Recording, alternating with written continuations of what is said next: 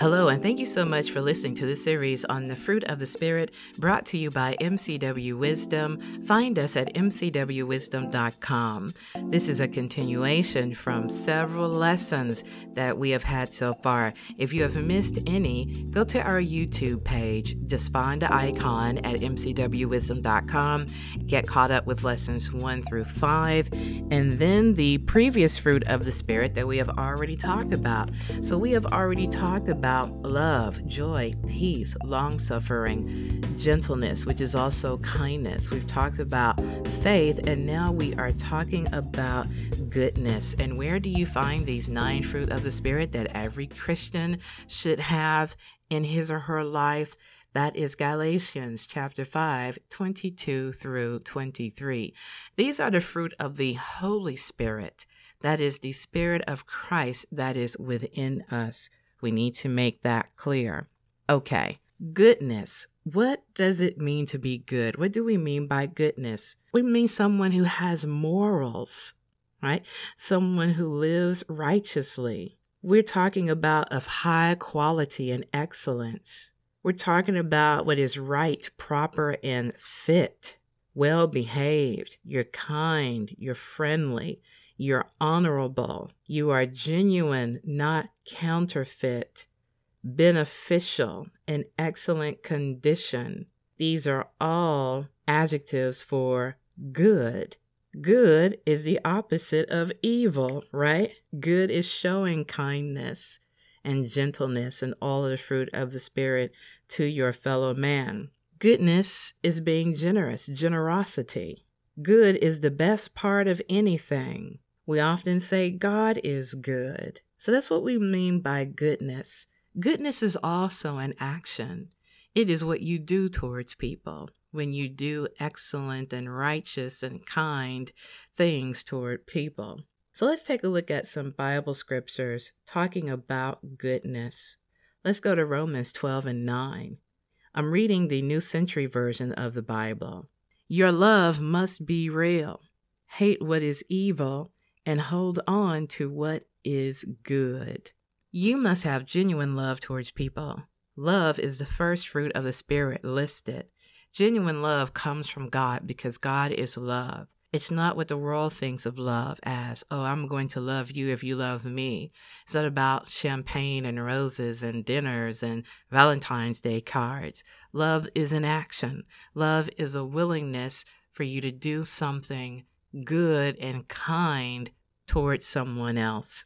Let's look at Galatians chapter 6 verse 10. And with this one, I'm reading the New Living Translation of the Bible or the NLT. Therefore, whenever we have the opportunity, we should do good to everyone, especially to those in the family of faith. What good thing can you do towards someone? I know a lot of teachers. It would be good of you if you could buy them some supplies for their classroom. That's an action of goodness. Let's go to Luke chapter 10, verses 25 through 37. And you know what this is? This passage of scripture is the parable of the Good Samaritan. I won't read every verse, but you need to go and read this for yourself. Luke chapter 10, verses 25 through 37. Jesus was among the Pharisees. They were the lawyers, the keepers of the law and of the religious law they thought they were smarty pants, basically. So Jesus was a gathering, and this teacher or this Pharisee stood up because he was trying to challenge Jesus in his smarty pants way. And he said, Teacher, what must I do to get life forever? When he called Jesus a teacher, it was trying to be funny. Jesus didn't have the education they had, he didn't have the credentials they had. As far as they knew, Jesus was just some man on the street talking. okay? He was not someone who should be esteemed. So when the the pharisee called him teacher he was trying to be funny.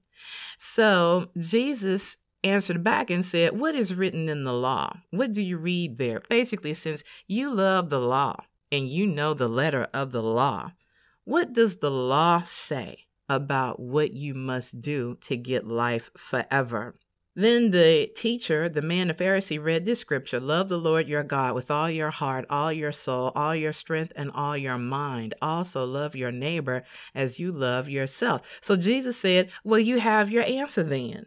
Do this and you will live.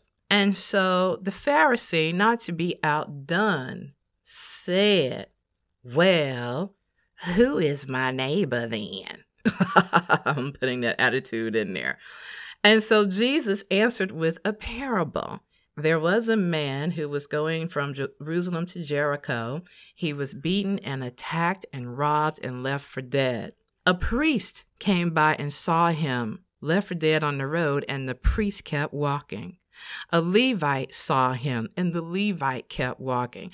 Now, the priests and the Levites are religious people.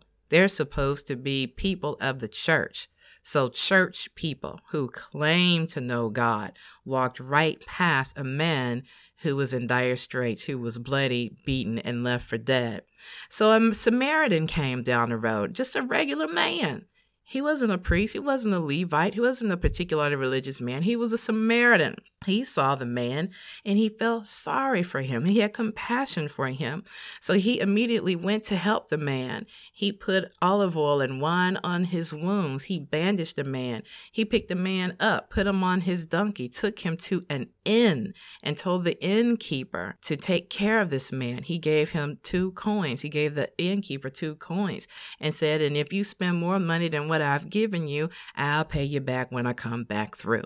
So Jesus said, Now, which of these three men do you think was a neighbor to the man who was attacked by the robbers? And so, what did the smarty pants Pharisee, the lawyer, have to say? Well, it was the one who showed him mercy. Jesus said, Well, there you go. So go and do that then. that is what goodness is, right? Taking care of your fellow man, being immediately willing to help in any way that you can, especially when you see that someone is hurting. That is what goodness is. All right, thank you so much for listening to this message. If you enjoyed it, then share it with someone else. Find all of the other messages on our YouTube page and our website at mcwwisdom.com. That's www.mcwwisdom.com. Thank you so much, and God bless.